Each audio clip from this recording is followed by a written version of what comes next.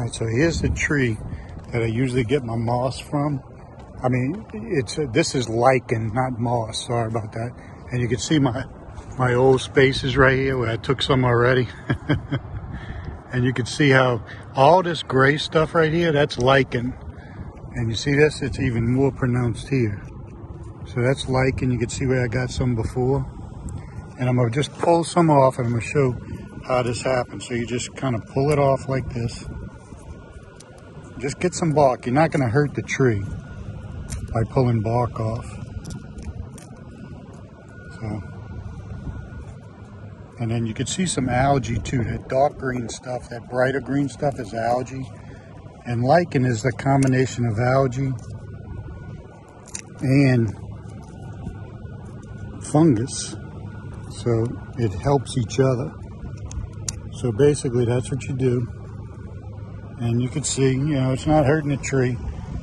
And then I'm going to bring this in and I'm going to show you what you do with it in a minute.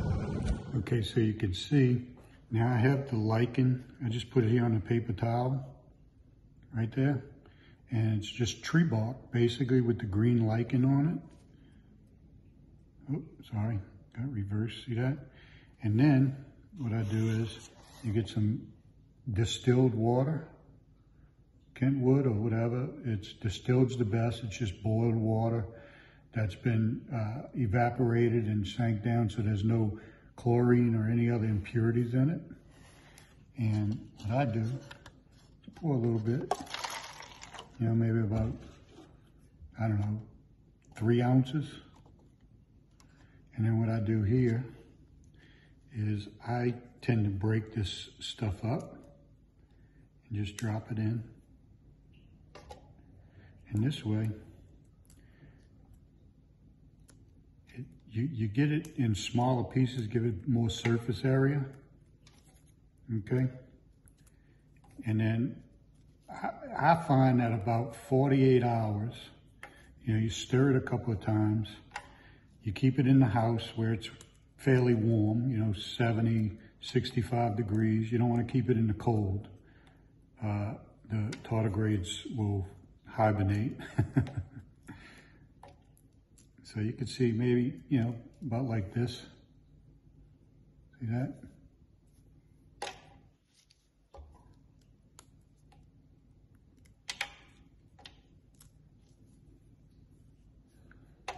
And then, since there might be some tardigrades left on here, just think even in that little bit, you could have 10 tardigrades. let's try to get them all in here.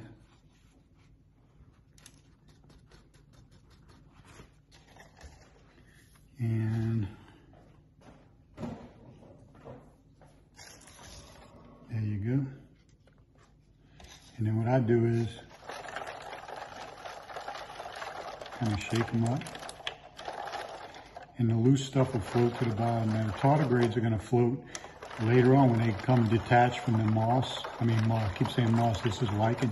When they come detached from the lichen, they'll uh, float to the bottom because they don't float up to the top. They kind of heavier than water and they tend to walk on surfaces. So they'll go to the bottom.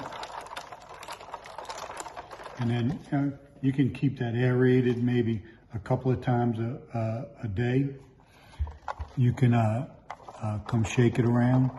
And uh, I usually keep some light on it, some UV light, you know, in the room, fluorescent bulbs maybe. Uh, and then in about 48 hours, we'll come back and we'll check it out and see what's in it. Okay, so I'm back, and now here's what I'm gonna do. Here's my uh, mesh right there. This is just some other samples I had for a couple of days already. And this is the microscope and this is the slide right here. So what I'm gonna do is, I'm gonna show you how I take some, I'm gonna take some of the water from the bottom, I'm gonna put it on here, then I'm gonna attach the, the iPhone to here, and we're gonna look for them in real time to see how long it takes us to find one tardigrade. Once I put it on here, I'm not gonna come back and keep showing you. I'll just wipe off the, the thing if I don't find any, and then I'll put more. So let's go for the first batch here. I just try to get it all the way at the bottom. You can see it right here. Kind of shake it a little bit, shake any tardigrades down. then you just come here, and I usually just go in a line right here. Get get more than a drop, you know, because you're going to be doing this. You might be doing this for 20 minutes. And I'll put this back in here. And then what I'm going to do is I'm going to put the foam on the microscope now.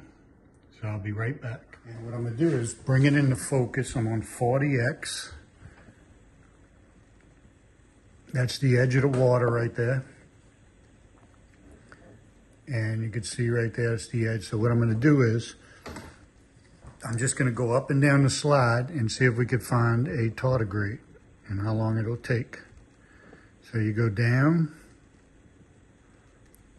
over, up. You kind of got to keep focusing on the way because the depth of the water. Mess up, over, and back down. And, you know, sometimes it Sometimes you don't find any, but sometimes, oh, there's one, look, already. and that didn't take long. How you like that? what did that take? About 30 seconds? 30 seconds maybe? No, a minute. Looks like a minute. So there you go. So it took me a minute to find a tardigrade. So now you can see how that works. and we'll just look at them a little bit. Um, let's go up in power a little bit here.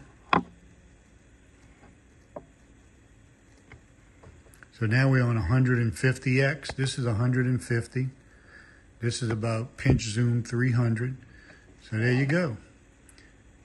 So after about two days of soaking and and just you know what was that about I don't know about a tenth of a milliliter of water, we found one tardigrade. So let's just have some fun.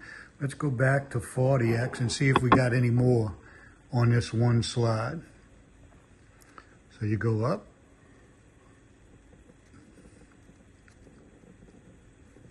Over.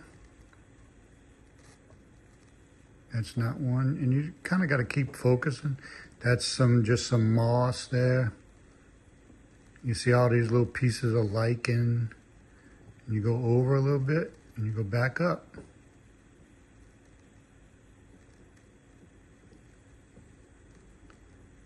That right there is a hookworm, which you you do find a lot of hookworms in lichen. I don't know why.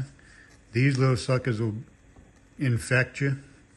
You know, if you have a good immune system, you don't have to worry about them. But these can get in your dogs and cats and things, so you're going to find some of those. You'll find more hookworms and tardigrades. Down.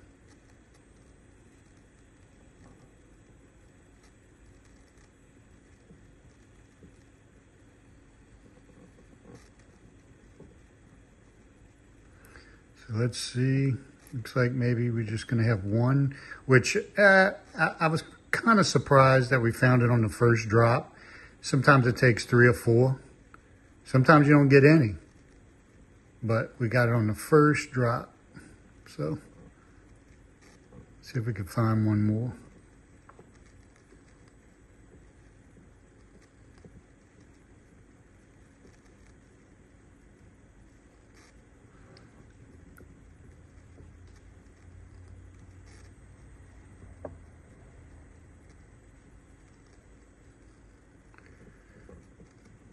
Coming to the edge here. Let's see. Never give up.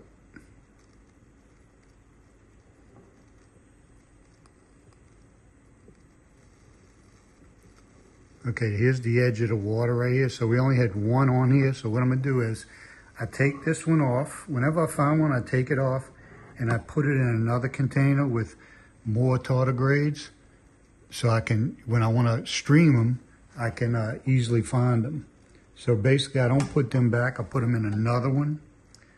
Uh, and what I'm gonna do here, we're gonna, so now you're just seeing a white screen right there. So I'm gonna put, I'm gonna put one more sample on here to see, just to see what kind of samples we got. Let's see if we can get another one in this next batch here. Okay, so here we're gonna just, I'm putting it on right now. Four, five, six, seven, eight, about 10 drops. And then You bring it all the way over to the edge and we start again.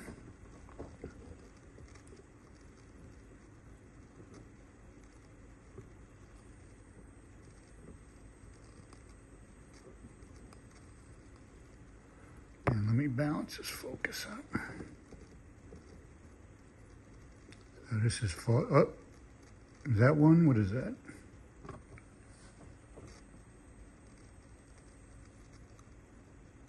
Yeah, there's a tardigrade. So there's number two.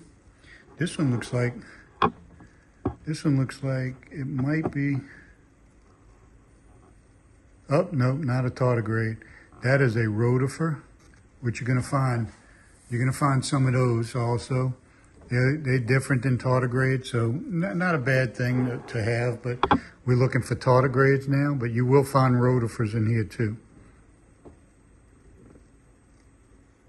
And I don't have a cover slide on here. I rarely put cover slides on my tardigrades. That's another rotifer. Rotifers are going to be about 10 to 1 to tardigrade. No. So, boy, did we get lucky with that first one, huh?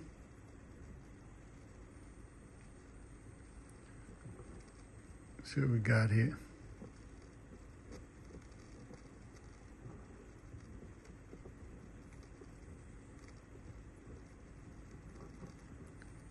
Come on. Wow. So we got lucky. Let's see. Because this is my second batch. And usually if you're doing this for the first time, you might want to go a little slower. I'm just, I just know what I'm looking for when I see the motion.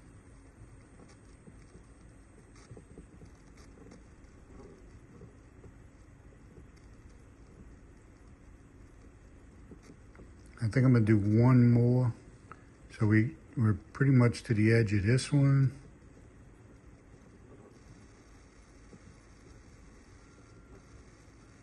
There you go. So what I'm gonna do is do one more. Since I didn't find any on this, I'll put the uh, I'll put the water back in the cup where I got it. Let's do one more sample, and then uh, I'll stream these live later.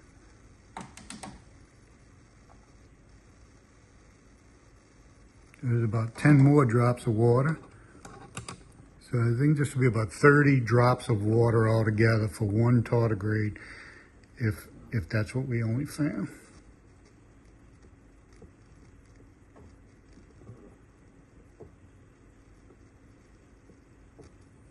Another rotifer right there. And I'd say if I don't find any more in this third batch, third drop of slides, that's about normal. Usually I find them after about 20 or 30 drops. It just, we got lucky and got that first one on the first 10 drops. so.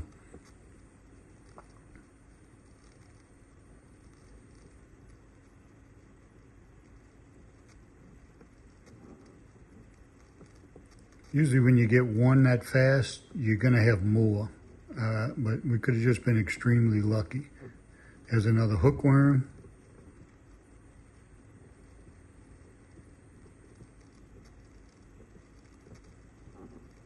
Over and down. You can see how you want to go in order here. You don't want to just scan all over the thing. You want to go in order and come back.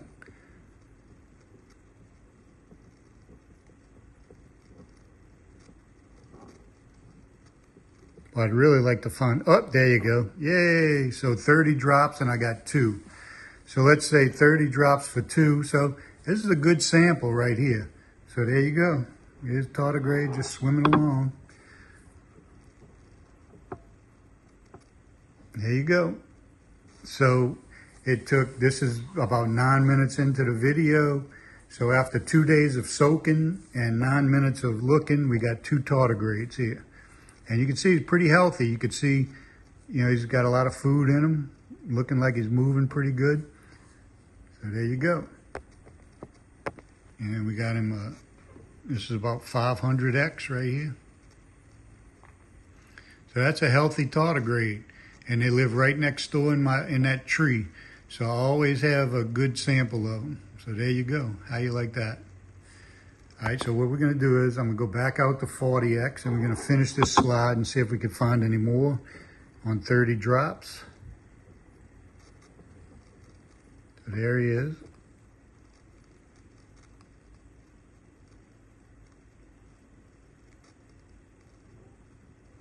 Yeah, so this one's right at the edge, I think.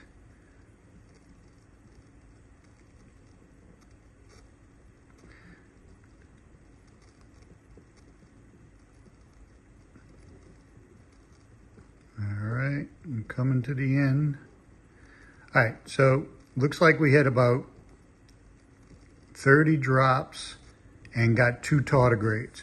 So you could see if you're doing one drop at a time on a microscope, it's going to take a long time. If we were doing one drop at a time, this could take hours. So what you want to do is, like I showed at the beginning, kind of put about, you know, a squeeze of a line of, of drops on a slide and just be real careful and put it over there, put it under there, and you're going to find tardigrades. And after a couple of days, if you don't find any, you know, you might want to get a different sample from somewhere, uh, or maybe even a different section of the tree. So I hope we uh, learned something here and show you that you can find these if you want. Thanks for watching.